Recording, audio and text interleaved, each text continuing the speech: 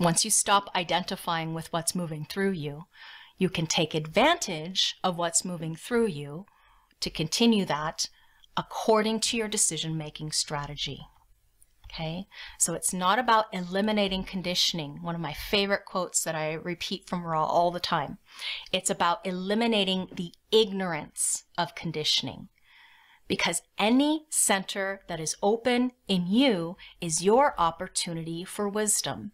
This is your opportunity through that filtering process to stop, once you stop identifying with what's moving through you, you can take advantage of what's moving through you. Again, wisdom potential.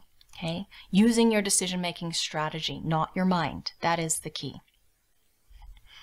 Okay, so on a fifth line day, the fifth line day is full of projection. This is a day where everybody is speculating about everybody else. It's a very good day to keep things practical. Yeah, stay out of sight other than what's practical. So you might hear me uh, regularly when I go, oh my God, I love fifth line days. Well, for one thing, I have a lot of fifth lines, nine fifth lines, so it resonates with me. I notice the difference in the quality of my teaching when I teach on fifth line days, like, wow, I really loved how that came out of me.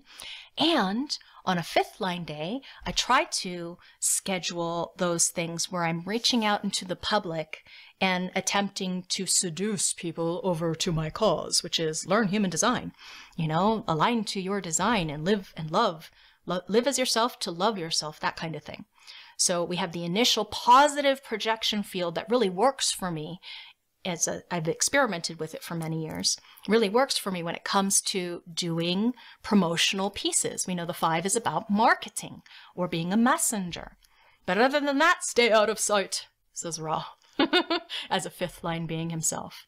So on fifth line days is when people lose their reputations because if they're not being practical, the world, in his words, explodes on them. They get burned at the stake. Yeah, the heretical uh, dilemma of being a five.